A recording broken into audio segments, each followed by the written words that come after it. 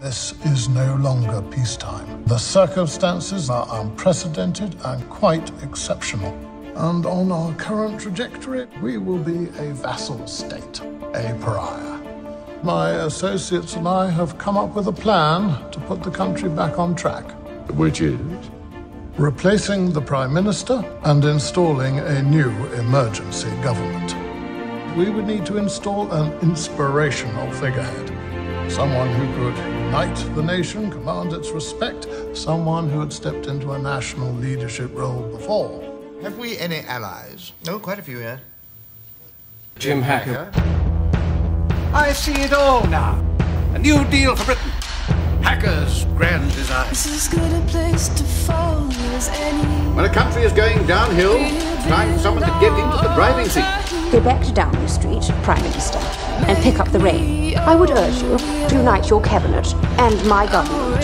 Take charge of this country. Wheels are in motion. My cabinet took a unanimous decision. That was my masterstroke. By this time, my backbenchers were cheering my every word. They were on their feet, cheering, stamping, waving their order papers. We need the man who can find the key question. Reforms can and will take place. Devote every effort to building a peaceful and prosperous world for our children and our children's children. A place in the history The country needs to be led by someone strong. A situation like that would require enormous energy. I've respected you since I was a boy. I've respected you.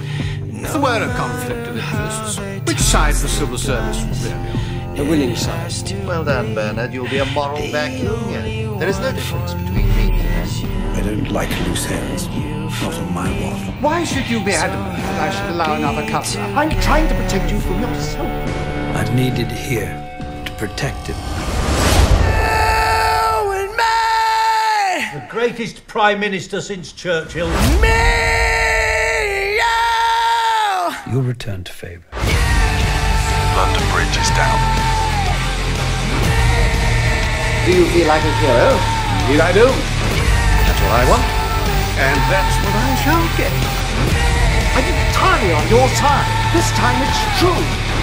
I don't know whether I want or I want to have a clear conscience. I know what people say. The world is not run the way you think it is.